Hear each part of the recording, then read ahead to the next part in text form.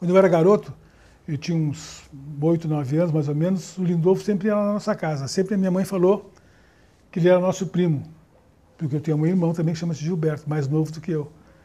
E o Lindolfo sempre, ela me lembra, a minha lembrança dele é que ele sempre me pegava e me levava para comer bala, ia no, no armazém, comia, comia uns, uns balas, que ele me dá chiclete, essas coisas que a criança gosta, né? Coca-Cola.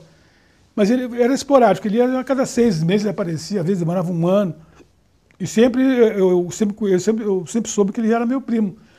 Acredito que ele tenha sido um filho da minha mãe antes do casamento, que ela não tinha vergonha de falar, ou não sei qual o problema, naquele tempo, né, no Rio Grande do Sul. Mas depois, eu e meu irmão, quando nós já estávamos grandes, eles nunca mais nós vimos ele. Ele sumiu, não sabia onde ele morava. E nós, falávamos, a gente, nós achávamos que ele era nosso irmão, porque ele. A gente tinha essa desconfiança. E agora, recentemente, já faz mais uns. Recentemente, digo uns, uns três anos, três, quatro anos atrás, uma pessoa foi lá em casa e nos contou que ele tinha morrido, que o irmão de vocês acabou de falecer lá, o Lindolfo. Daí, mas daí a gente confirmou para a gente que era nosso irmão.